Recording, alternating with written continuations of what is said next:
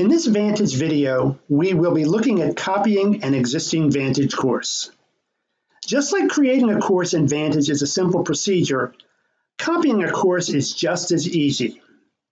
From your main My Courses page, select Create Course.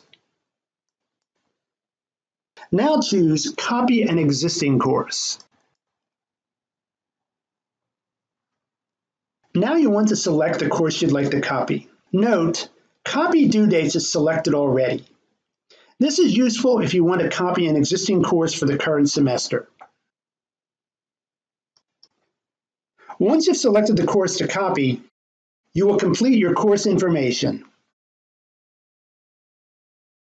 First, I name my new course. Then I enter a start date. I entered a start date different than the course I am copying, so I receive a message telling me that due dates won't copy.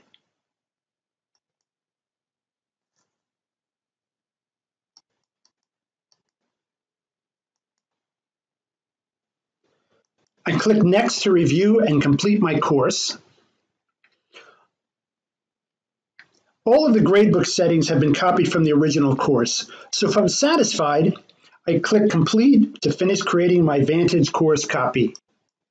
If you need to adjust any settings, click on the pencil icon to make your changes.